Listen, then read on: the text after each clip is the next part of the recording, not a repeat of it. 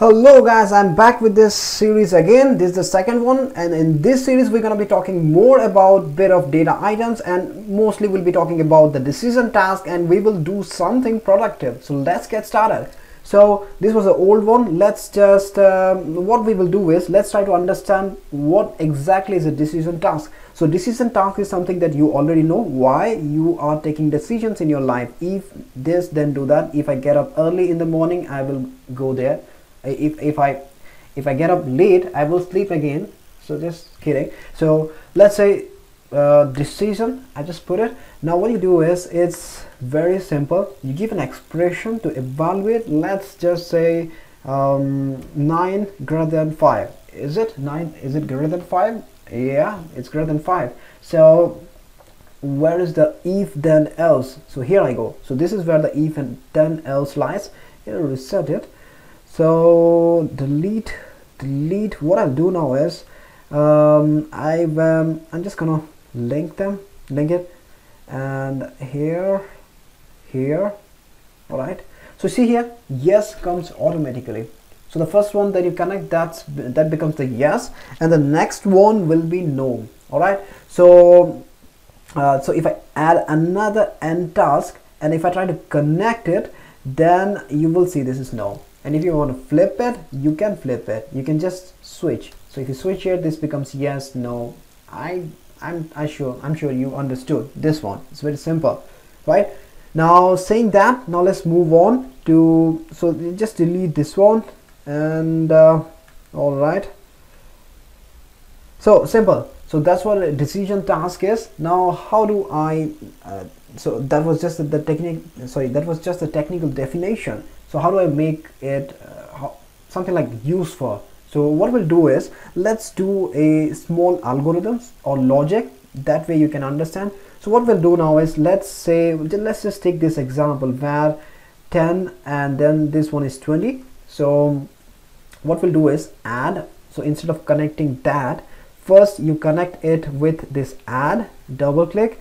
Now let's say uh, what we'll do is add it so var1 plus var2 right? And i'm storing the result here.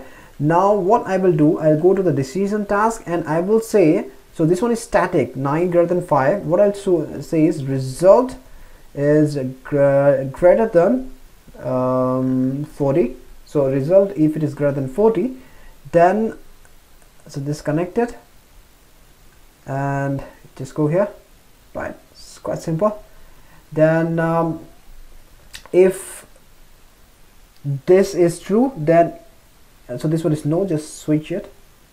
And add another this task and task. Is it end task? Yeah right. Link it. Simple. Uh, save it. Uh, just one second.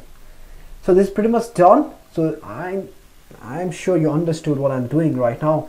So start add I added something then I'm evaluating the result. 10 plus 20 is equal to 30 and you know that 30 is greater than 40 is it? No. So my things should go to here. No right? So that's what I want. Now let's see. Just reset it. Run it. Data items must be between the brackets. So what is it saying? Data items is must be, be between the brackets. So what to fix it go here. What you want to do is you want to uh, so to always be on the safe side you go here and you use this expression. So this is the bracket that it was bragging about. Now it's fixed so it's greater than 40 so it shouldn't show any issue right now. What you do is can I run it? No. Reset it save it run it.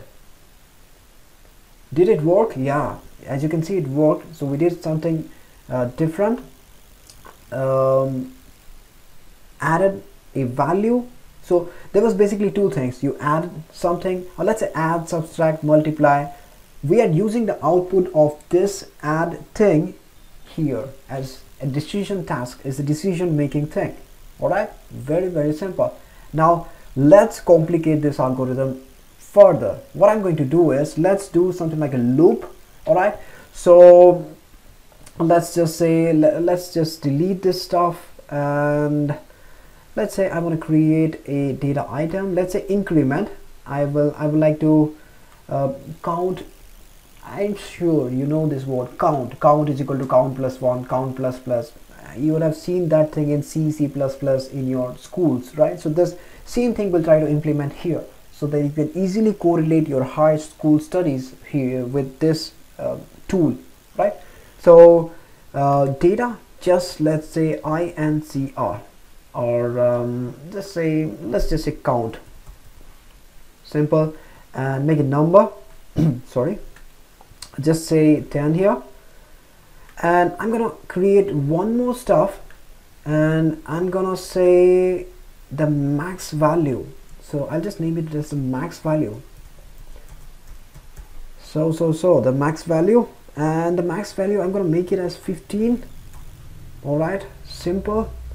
What I'll do is in add I will add this count. Let me increment it by one. Hey what am I doing? I'm just incrementing it by one that's all. And I'm storing that. Uh, let me store that stuff where? In the same thing I was I'll, I want to store that same thing here in the count itself. So let me store that in the count itself and just say yes okay?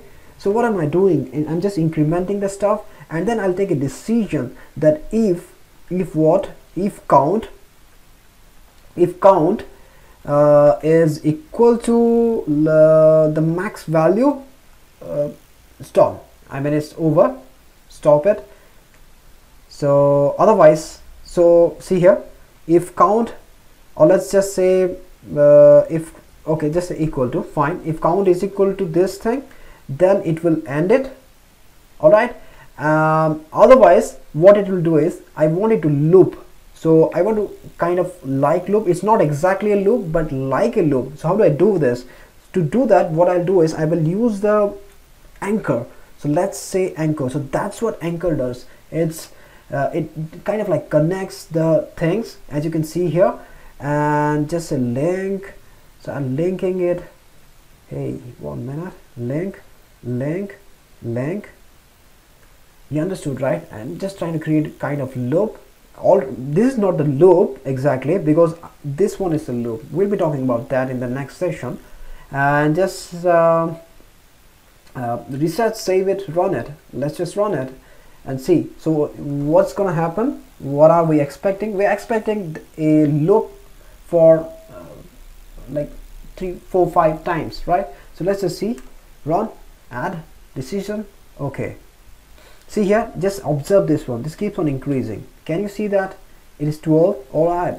13 14 15 it stops. Boom done. Right? When it's 15 it should end now. And yeah done right? It's a, kind of like this one is a bit funny compared to the last boarding thing that we did. This bit funny but I hope you enjoyed it liked it. All right. So we're gonna end this session right now. Thanks for getting tuned and watch out for the next thing. We're to be talking more about the loops and other stuff. Thanks guys. Thank you very much for getting tuned. Love you all